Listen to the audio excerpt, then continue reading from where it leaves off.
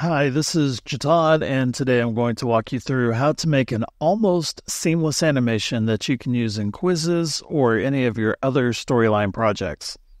The problem with creating seamless animations in Storyline is that it doesn't always preload the videos that you need to jump to. Articulate has posted on their site that Storyline loads the first slide so the course can begin right away, and then preloads the next three slides so learners won't experience delays. Well, this true false project is only four slides long, and I was still having buffering issues and stuttering video. But I've come up with a couple of hacks that seem to help with the transition. So let's dive in and I'll show you what I did. For this project, I used Create Studio, but feel free to use whatever animation software you're comfortable with. I personally love Create Studio for my animations for two reasons. The first is I have a lifetime access pass, so there are no monthly fees, but I get all the new monthly characters, themes, and templates, and I'll I'll get them forever. Also, you can jump right in with pre-built animations and editable templates. It helps me break through creative blocks when I run into them.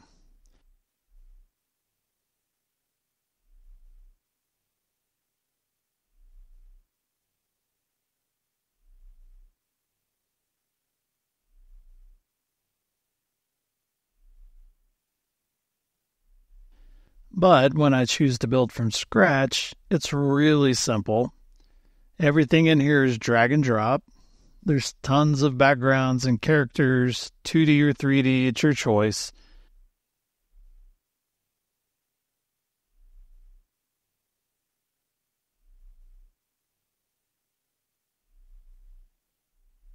You just have to pick a pre made character and choose their action. So it's super easy animation.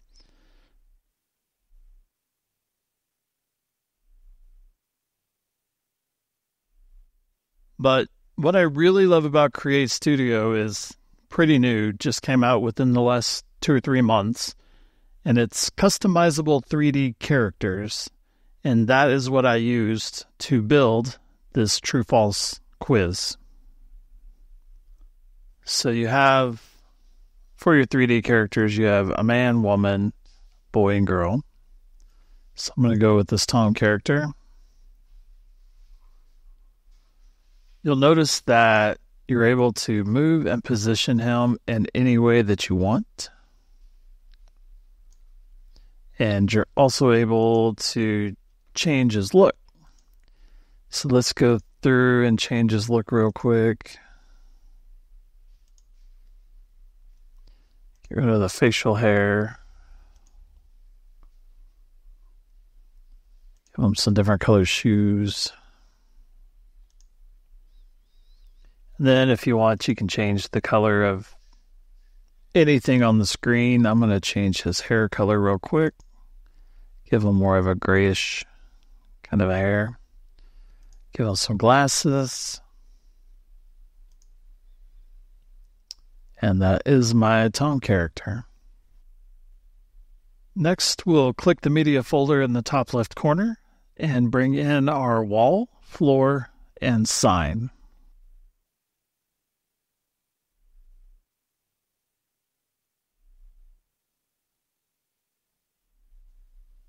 One of the great things about the animation in Create Studio is that every action characters take have the same beginning and ending frame, and this ensures that the character moves seamlessly without noticeable jerking motions.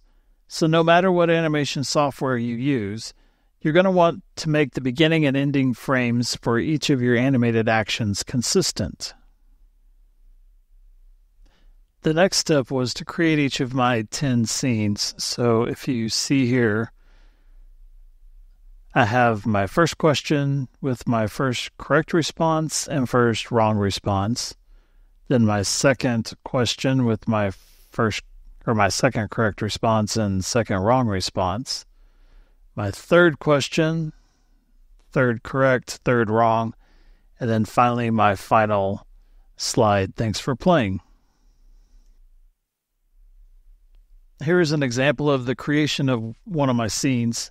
I start with the one second idle action at the beginning and end of the scene to keep the first and last frames consistent and to give myself a little bit of buffer room.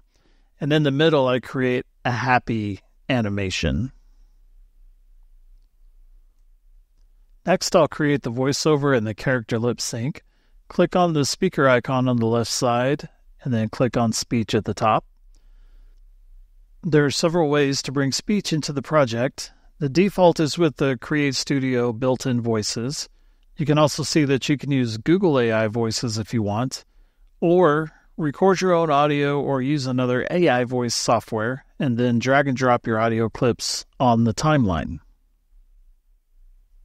Here I'm using the Create Studio built in voice creator. Simply type in the text and choose the voice you want to use. I'm using Alex, and then click the button Generate Speech. Once generated, you can preview the voice and or import it into your project. Make sure the audio file is on top of your character, and then right click, go to the top and choose Sync with, and then whatever your character name is. Then continue this process until all of your scenes are made. In Storyline, I created four slides. So I have question one, question two, three, and then my goodbye slide. I've inserted on each of the slides the correct video, and that is my background. So here on question one, the title comes in, our character waves, the true false appears, and the question appears. Character narrates the question, and then the user chooses true or false. So my triggers are show layer wrong when the user clicks false, and show layer correct when the user clicks true. And my correct and wrong, again, my video is the background. And once he is done with his telling the user whether they're right or wrong, then I will jump to the next slide that's for both correct and wrong. So, same thing on the next slide. My question video is the background. True and false go to the correct and wrong layers. And same with three. And then four is just my thanks for playing goodbye scene. So, a couple of things you can do here to keep your videos from getting kinks and jerking when the video tries to load. When you go to publish, if you didn't know this already, under quality, click it and choose adaptive. This will stream the videos based on the user's internet. So if they have a slow internet, then they'll get a lower quality stream. One of the big things I did. So if you look here at our first question, You'll see here I have picture one. So what this is, before my video starts playing, picture one is a still image of what the first frame of my video is. So this will cover the jerking motions when the video tries to load. Let's see if I can give you an example. I'm going to turn this off and we'll preview this slide.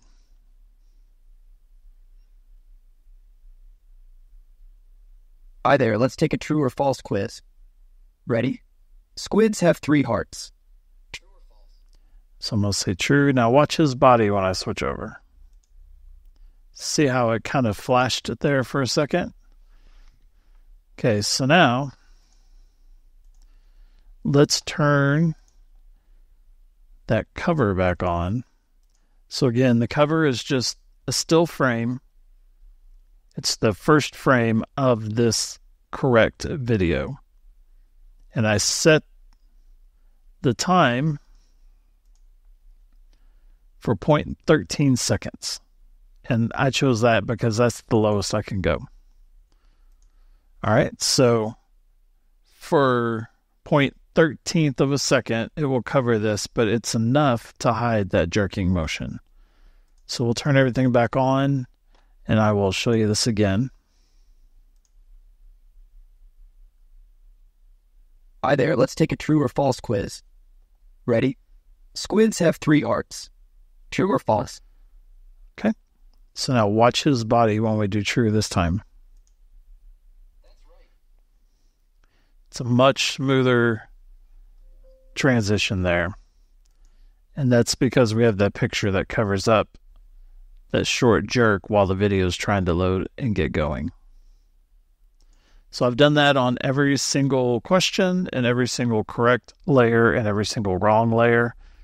I also did it on the goodbye layer. So every single one has that first image. Now, remember when I said create studio, one of the things I like about it is every animation you have for every character they have the same pose at the beginning and end of that animation. So I only had to create one image of the first frame, and it's the same for everybody.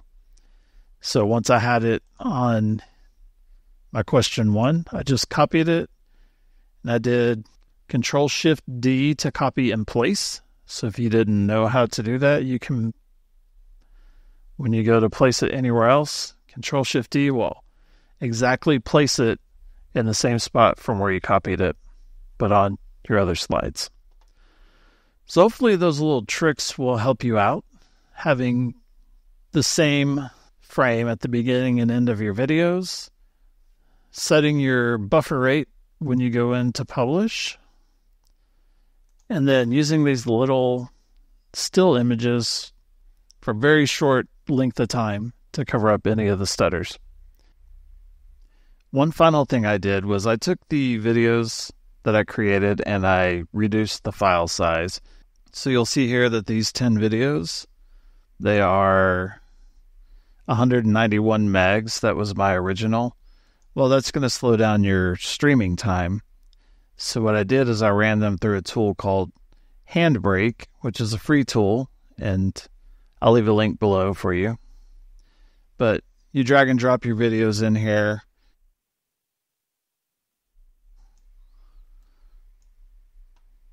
Drag and drop a video in. You set your your choices here, all your different options.